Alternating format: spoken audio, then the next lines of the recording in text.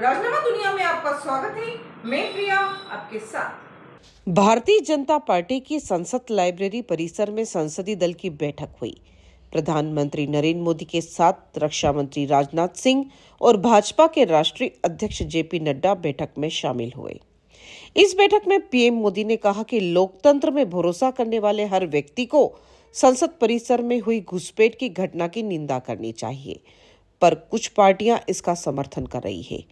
PM ने कहा कि इन पार्टियों का ये आचरण सुरक्षा चूक जितना ही डरावना है।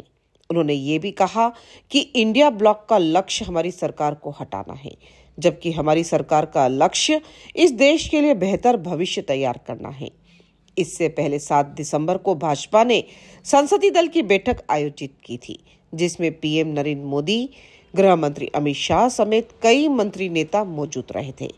यह बैठक पाँच राज्यों के विधानसभा चुनाव के नतीजे आने के तीन दिन बाद हुई थी। इसलिए बैठक की शुरुआत में तीन राज्यों में धमाकेदार जीत के लिए नेताओं ने पीएम मोदी का स्वागत किया। नेताओं ने मोदी जी का स्वागत है के नारे भी लगाए।